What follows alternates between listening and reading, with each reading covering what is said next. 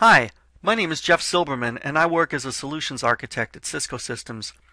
This video is part of the UCS Advantage series designed to highlight that many common data center operational tasks become much simpler to address with Cisco's Unified Computing System. This segment will highlight the Unified Computing System's ability to address rapid server provisioning through service profile templates. Typically, there's a significant amount of time that's lost between when a server or blade chassis is present and the time when those physical assets come into service and begin serving applications and business needs. Much of this lost time is due to delays in cabling, connecting, configuring, and delays in preparing the data center infrastructure. Provisioning servers typically requires a lot of manual work that must be done on a serial basis, server by server. This is where the templates available in Cisco's Unified Computing System can really simplify data center operations. In the UCS data model, service profiles represent all the attributes of a logical server that have been abstracted away from the underlying physical hardware and physical connectivity. By supporting logical servers that can be disassociated from the underlying hardware, we're able to remove many limiting constraints around how servers might be provisioned and how physical servers might be easily repurposed for different applications and services. One option in constructing the definition of a logical service profile is to create it as a template, and thereby have the ability to do rapid instantiation and provisioning of multiple servers. Here in the UCS data model, you can view the various logical building blocks that we use in terms of pools, policies, and isolation security methods to create higher level abstractions like virtual NICs, virtual HBAs, and ultimately service profiles that are independent of the underlying physical hardware. One important aspect of the UCS data model is that it's highly referential, meaning that you can easily reuse and refer to previously defined objects and elements without having to constantly redefine common attributes and properties. Okay, let's see how all this would look in action. I would start by pointing my browser to the IP address for my UCS domain. The UCS Manager GUI would then download and run as a Java WebStart file. Keep in mind, the UCS domain is managed as a single system. You go to a single place to manage all the resources, regardless of whether it's one chassis or 40 chassis. So, for simplicity, let's start by using the Service Profile Template Creation Wizard and define the common properties for a server running SAP, for example.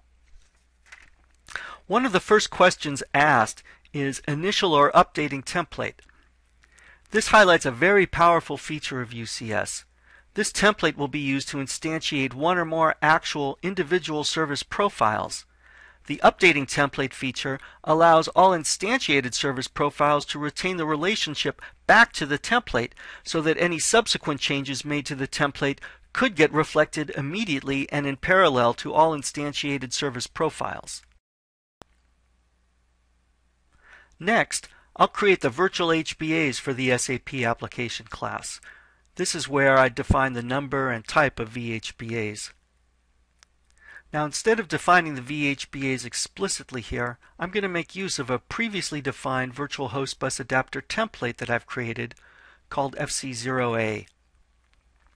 All virtual HBAs and virtual NICs are going to use the same pair of access switches which we call fabric interconnects for shared I.O. connectivity. The data plane in UCS is active-active across both fabric interconnects that define a particular UCS server domain, allowing all servers to take advantage of two fully non-blocking access switches for all I.O. So by selecting the template associated with fabric B, I can then use standard host side multipathing for any storage availability.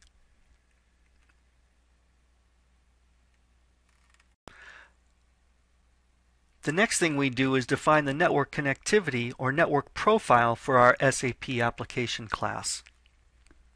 And again, I'll use the virtual NIC templates to take advantage of the previously defined network profile properties that have been encapsulated in a reusable VNIC template. By reusing or referring to the VNIC template, we don't have to explicitly choose which MAC pool to draw from, which VLAN to expose, and which quality of service policy to enforce. This hierarchy of objects and templates helps to promote the notion of reusable objects by way of normalizing references and thereby reducing the potential for errors. I can hit Finish now, and my service profile template definition is complete. Simple. If I need to, I can always go back to make changes and modifications. For example, here, I'll add a boot policy to the template defining exactly which physical devices and in which order the servers will attempt to boot. Note here that these servers will SAN boot, but without having to go enter the worldwide port name of the SAN boot target storage array at the console on each and every individual server. I could also modify the host firmware package for the template to define exactly which version of BIOS and other low-level firmware bits should be run on the SAP servers. In UCS, we have abstracted even the BIOS version to be part of the logical server definition.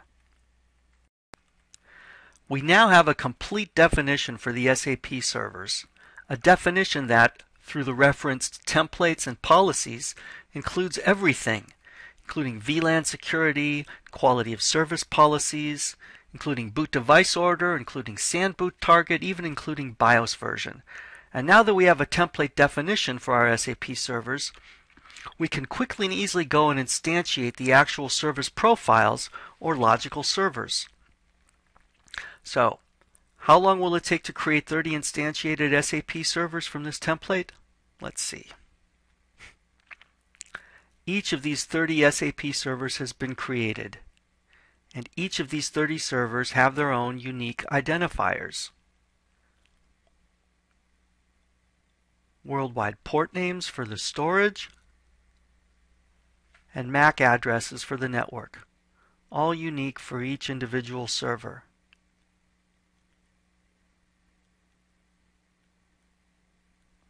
Yet they all still share common attributes, such as common boot policy and common BIOS version.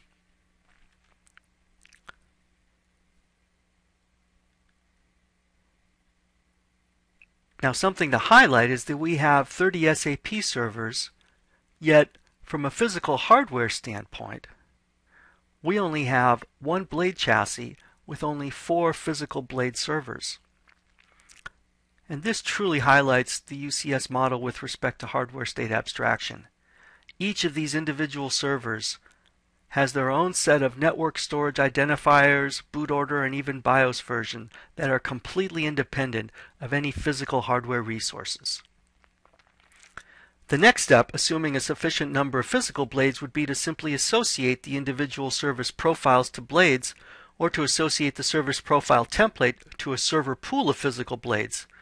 However, you don't need to be idled and simply waiting for blades to show up. With Cisco's UCS, you can pre-configure the network and storage infrastructure in advance of the physical servers being present. And that's the topic for the next segment in the UCS Advantage series. To recap, in data centers, the typical server provisioning process is both manual and time consuming. With Cisco's Unified Computing Systems service profile templates, provisioning new servers is both fast and easy allowing data center operators to save significant time and energy when deploying new servers. Thank you for watching.